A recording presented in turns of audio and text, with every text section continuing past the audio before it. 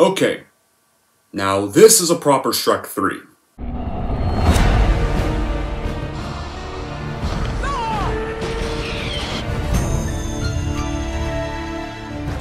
Those were up, and they did. We're smart, and my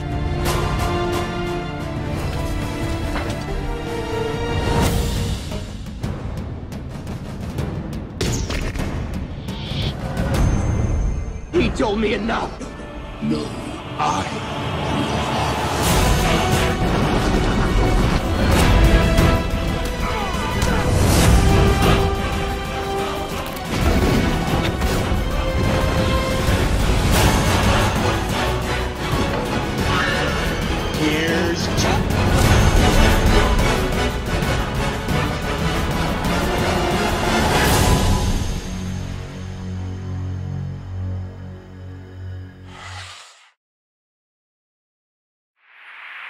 Hey everyone, it's Don G. Corleone here, and I'm here with a brand new movie review. And this movie review is going to be for the fourth installment of this other review series I'm currently finishing up. And it's going to be for. It's the fourth and so far final installment of the main series, anyways, that we've been following since 2001. And it's going to be, and of course, it's for the animated series. And this one is going to be for, of course, what is none other than 2010's Shrek Forever After, or Shrek the Final Chapter, whatever you want to call it. But either title, this is the true Shrek 3, the proper one. But let's get on with the plot this. Well, the once hideous ogre Shrek played is now living a good life with wife Fiona and has three children. But he soon has a meltdown in front of them and his friends during his kid's birthday party, and he suddenly wants to be a real ogre like he was before he ever met Fiona. So, so he turns to the devious steelmaker Rumpelstiltskin for help. And at first Shrek lives the life he once lost and everything's going good, but seconds later, he soon finds out that he has been set up by Rumpelstiltskin, who now rules the land with an iron fist.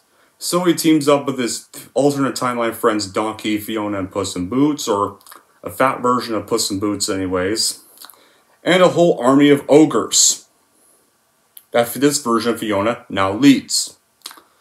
And Shrek is in for the fight of his life as he tries to get his life back before time runs out.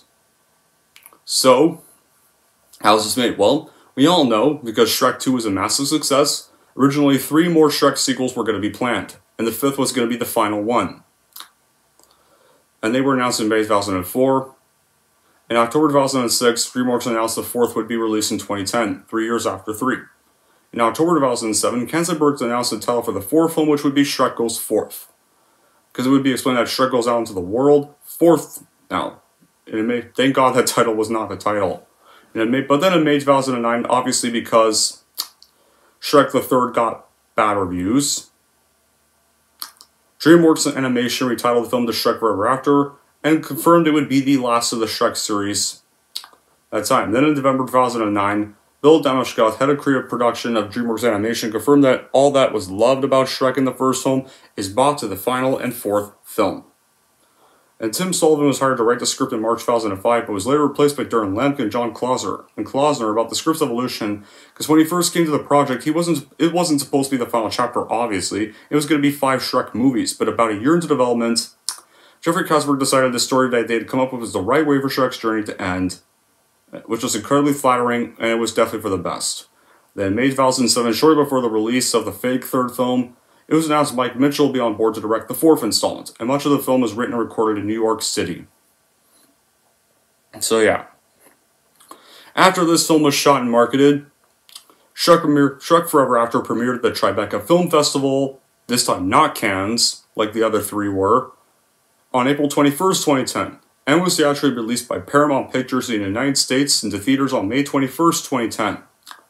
The film received, well, still not the same critical acclaim as the first two, sadly, but mixed reviews once again. However, more mixed to semi positive. Definitely got better reviews than the previous film before this.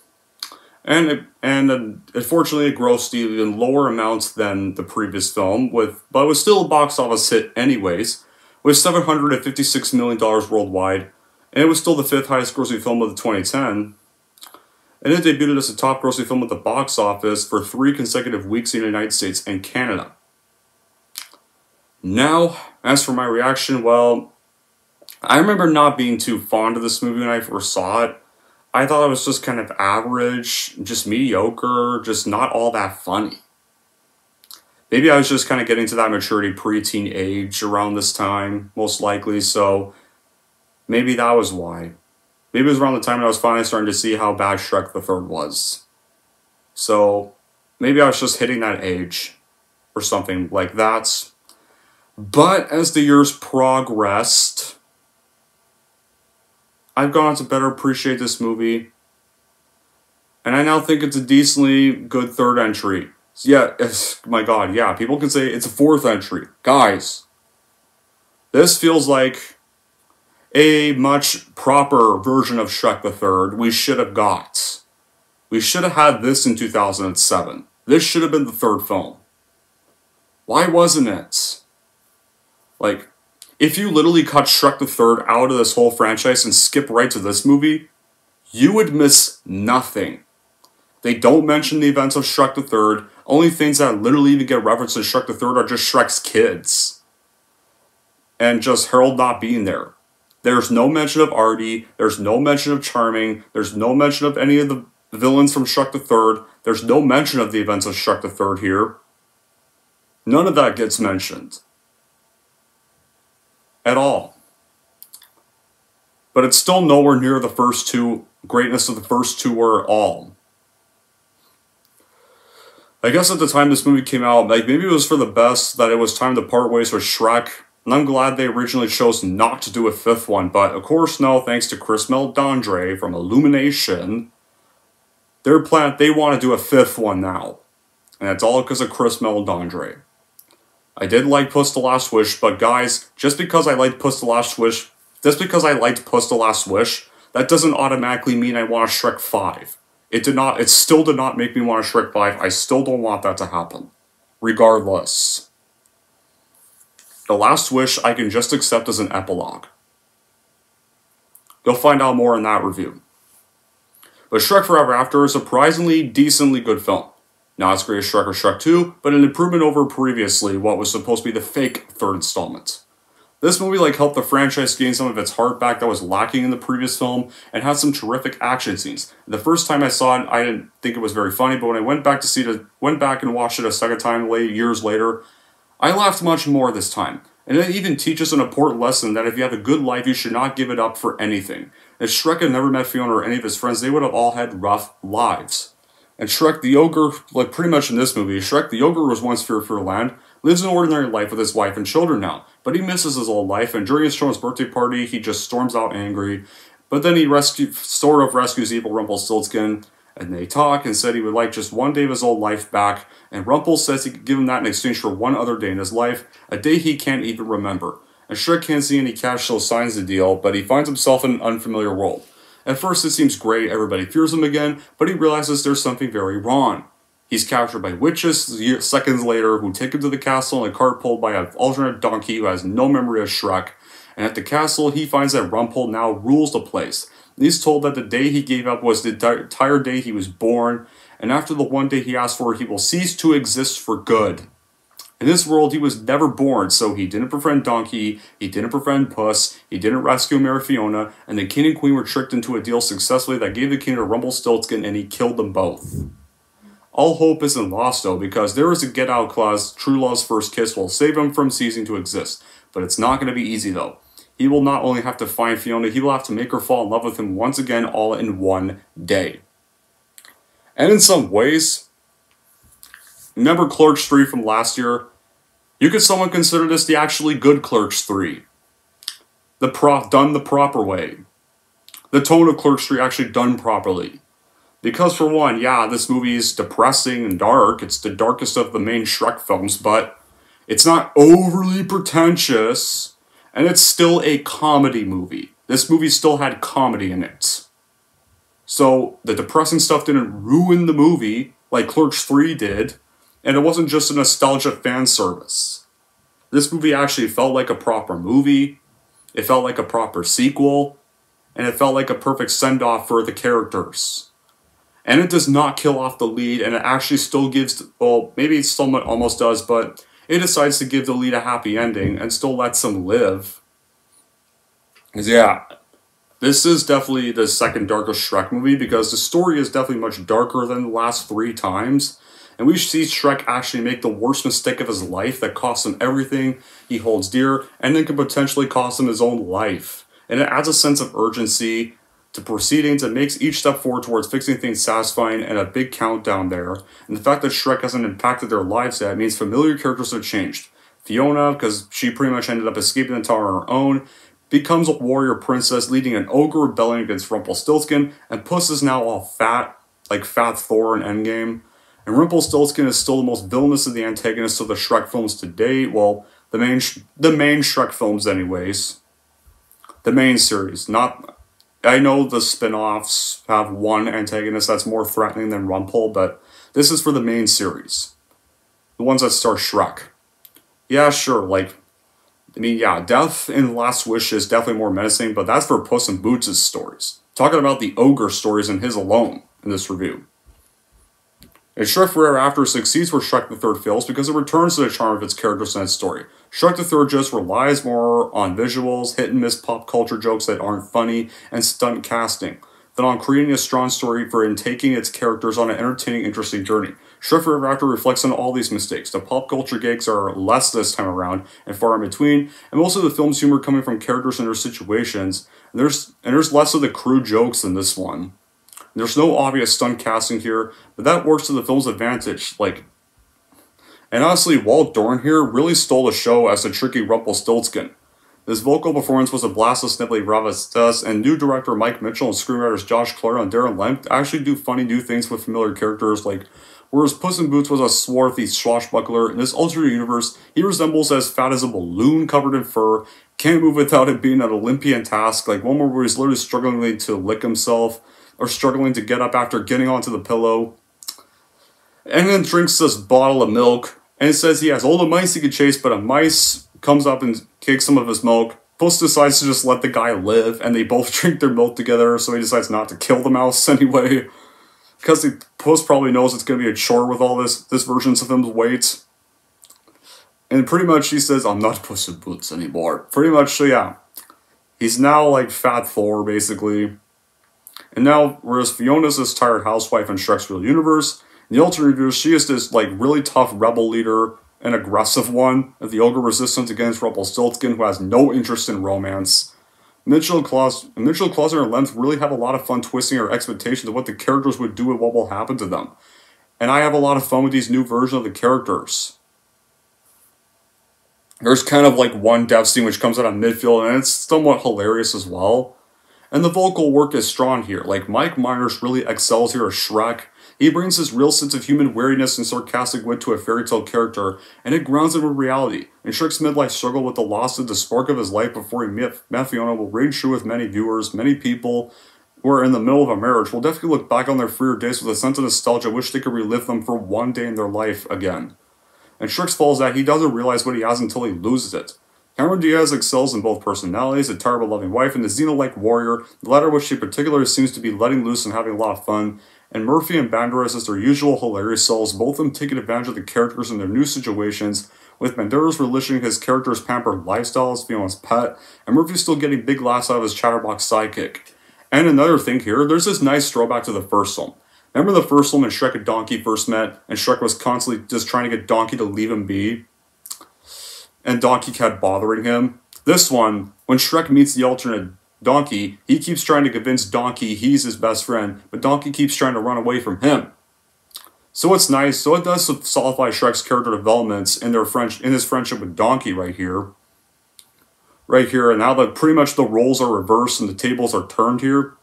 So there's some decent character development right there with the two. But this is an alternate timeline, obviously, but still.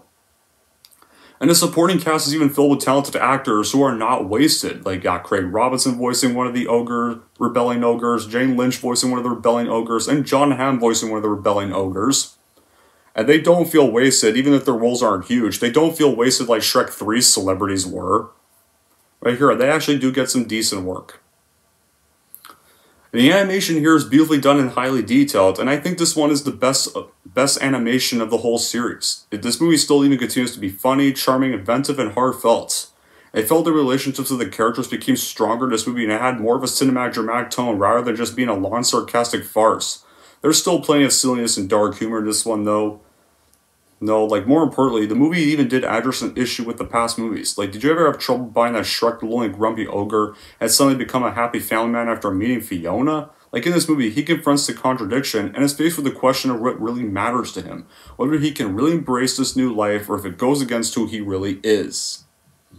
And the real treat of the premise is that forever after, it gives us a chance to warm up with these characters all over again and recall why we love them in the first place, and then find out a few of the reasons to like them all over again. We know these characters, we've met them before, and this might just serve as a reunion one final time after the occasional slog of the previous follow up. And unlike its immediate predecessor as well, this one has a storyline instead of the simple premise to be used to hang pop culture references and in jokes. Not a great storyline, not really an original storyline, line, but it's a step on the right direction here. Like Mike Mitchell at least put Shrek right back on track and not a moment too soon. So it is nice, so it's definitely agreeable when some people say this movie saved the Shrek franchise. Because honestly, maybe there is one good thing that came out of Shrek the Third, because if Shrek the Third had not made such a huge profit and got this much hype, I don't think we would have had this better film.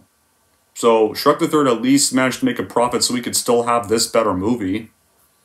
In addition, this movie even works as a family domestic drama where it maturely deals with the simple family issue of boredom and being sick of how repetitive family life can be. And the film can sometimes work as a satire and a metaphor that some married men can learn from. There's one sequence in the movie that really captures the crisis, and that's where Shrek realizes that despite the fact he does live a happy life, it could get dull and annoying at times, but then again, that is kind of life. And it does become boring at times because many of us choose just not to grow up. Many of us choose not to let go of what our past lives were, and that's what happens to Shrek exactly in this movie. Escape the mediocrity of a family life, he wishes to relive the moments when he was still just a normal ogre again, and he puts his family life in jeopardy, but then realizes his mistake, fixes it, and decides to just let his old life go for good.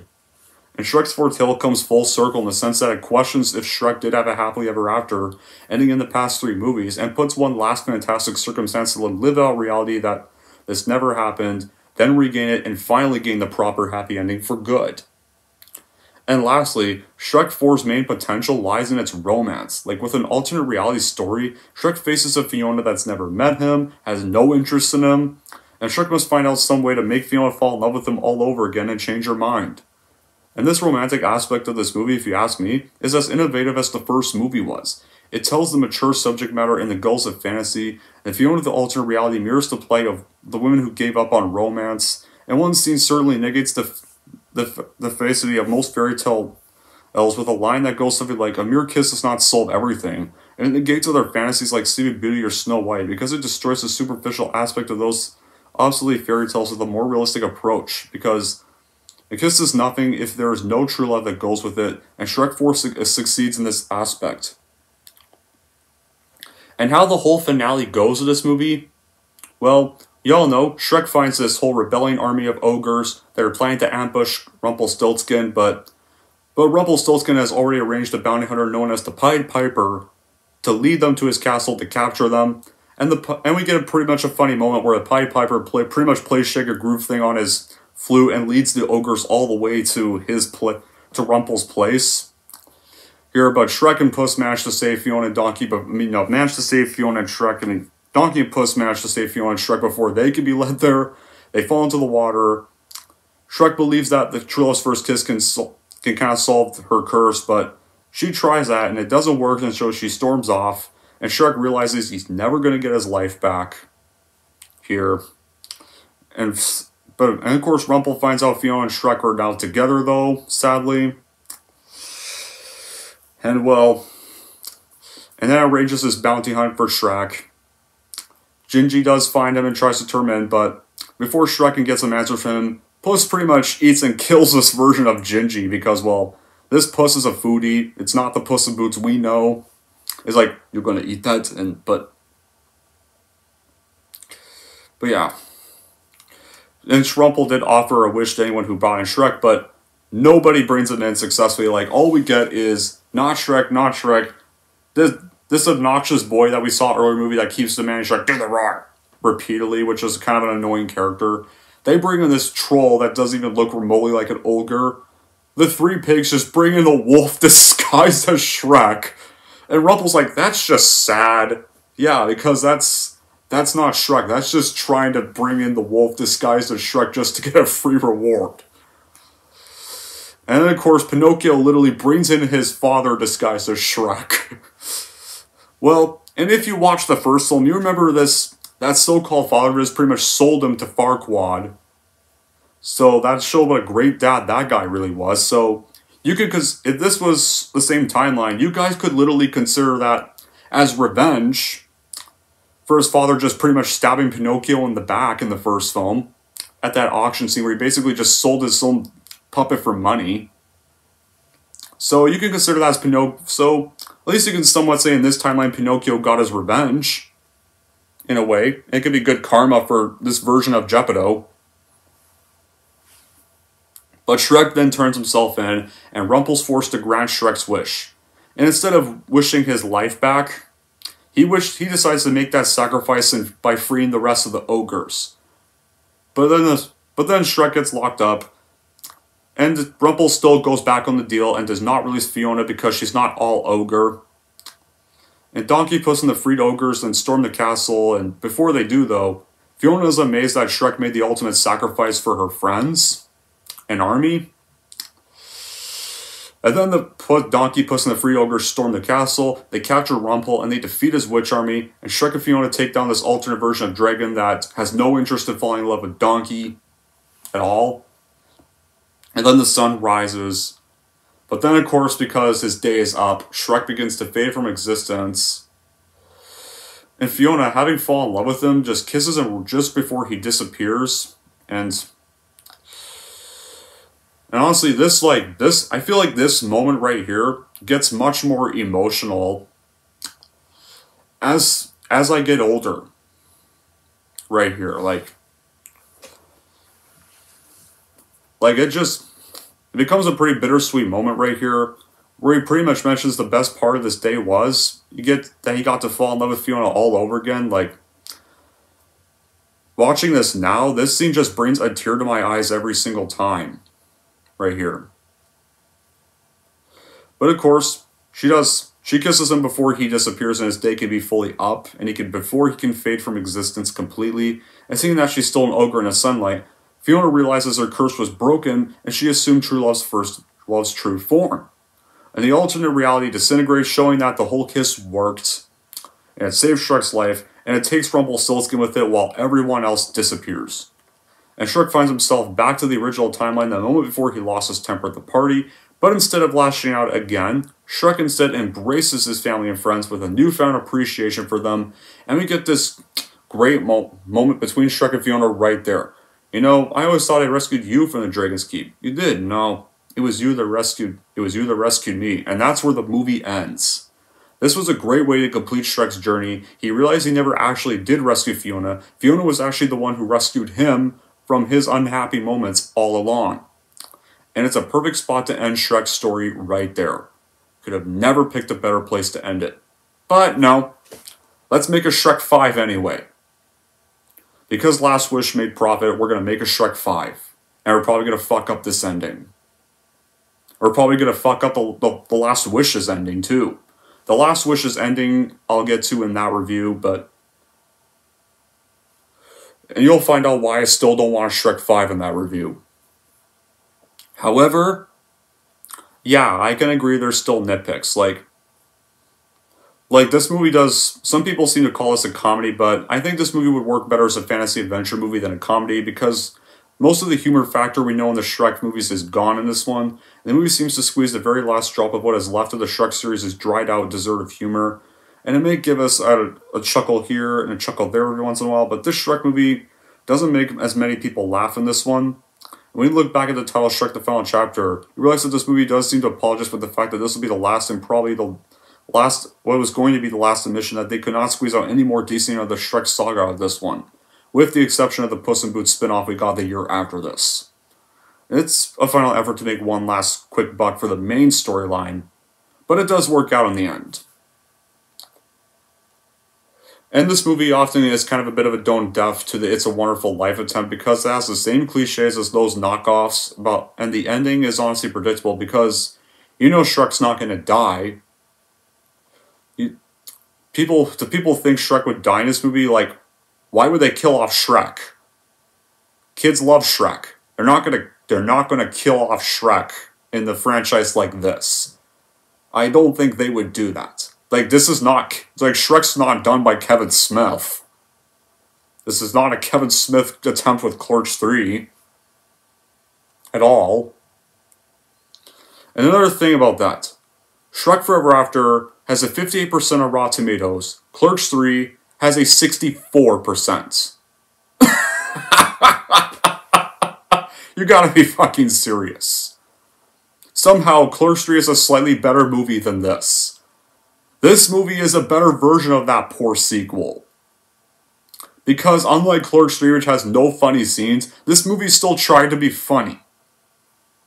And the depressing tone didn't drag down the movie, and wasn't obsessed with having a dark, depressing tone.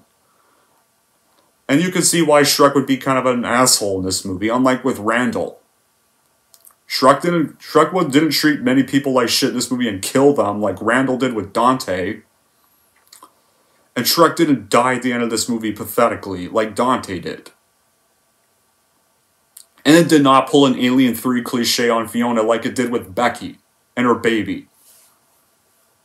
Now, and although the animation is a notable improvement over the first Shrek films, there's very noticeable moments in the film where the facial or physical movement of the characters feels very artificial or unnatural, being more evident in characters that are in background or extras, and at the same time the environmental aspects such as landscapes, the kingdom of far, far away, forest, dragon castle, and sky kind of feel poorly polished, being more similar to those of a video game, and not to mention that like Shrek III uses palette colors that's somewhat unpleasant, when repeating the colors of dark yellow, dark orange, red, and natural yellow, and rather, in some, there's still some of the inappropriate and cringeworthy dialogue here, like I'm being ass snapped, which is kind of a gross line.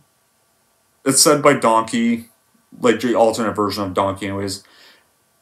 And and of course, there's my donkey fell in your waffle hole, which is kind of a gross line as well.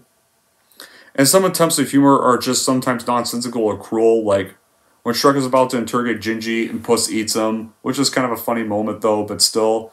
And then Shrek suggested to Rumple that he erased the day he met Donkey. Like, dude, Donkey's how you got all these great moments of life. Donkey's kind of how you met Fiona in the first place. And the first, and this Donkey was the first person who never even judged your appearance. And the film can be a little bit rushed at times. Too, like the pace of the film does switch a lot, even more than the previous movie. Like considering how many feel the whole premise in an alternate reality could that only exists for one day could have been more explorative. It had not been the rather short runtime of the film, and it's never explained as to what happened to Fairy Godmother in an alternate reality or Prince Charming.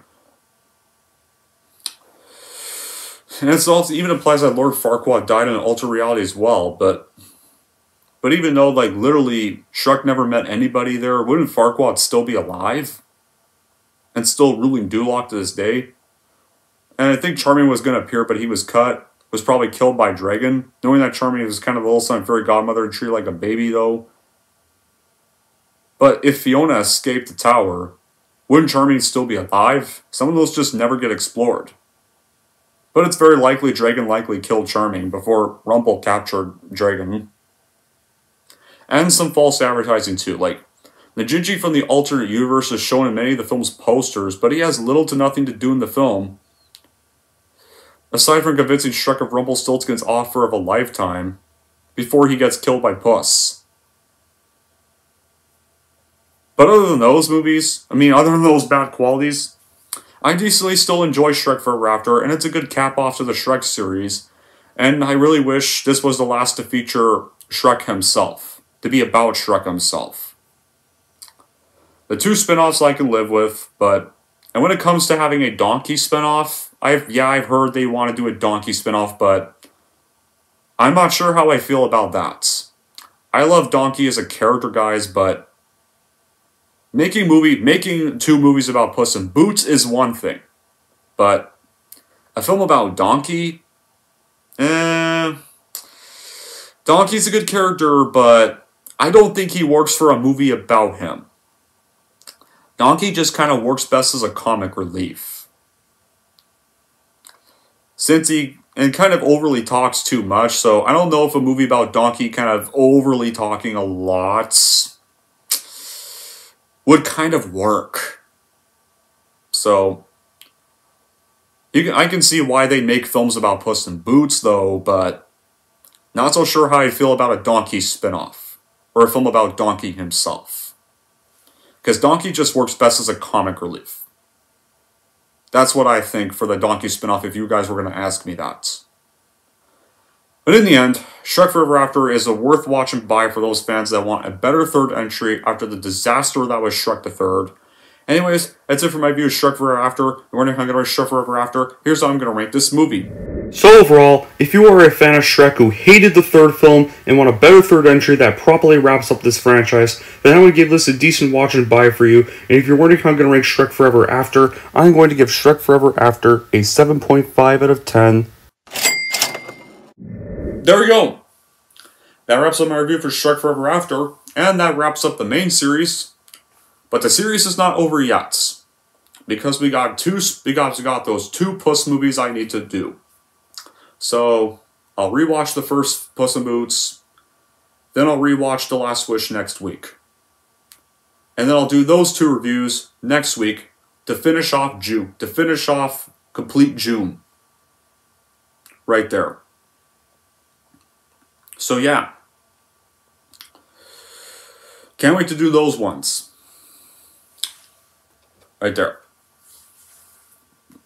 And I know some my subscribers are DreamWorks retired, but I'm not 100% DreamWorks retired just yet because after two films last year, we'll see how their original stuff goes. Granted, I'll definitely be skipping Trolls 3, I'll definitely be skipping Kung Fu Panda 4. I like Panda guys, but we don't need a fourth one. I'll definitely be skipping that live action How to Train Dragon remake that nobody wants. But let's just see. I just I'll just wait and see how the original stuff goes. I'll just play it out by word before I even decide my retirements. So I'll just wait and see how the original stuff goes. I'll likely just I'll probably likely skip quite a few of their sequels, but when it comes to their original things, let's just see how the actual movie goes. So and plus, DreamWorks has not gone woke yet, so at least unlike Pixar and Disney. So there's maybe that, but let's just, I'll just play it out by word. And until then, guys, that'll be it for this review. Thank you all for watching. If you like this and want to see more, and don't forget to like, subscribe to Don G. Corleone.